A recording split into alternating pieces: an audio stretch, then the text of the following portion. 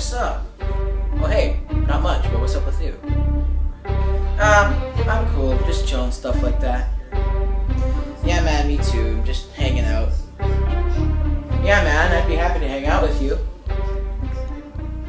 Did you say happy?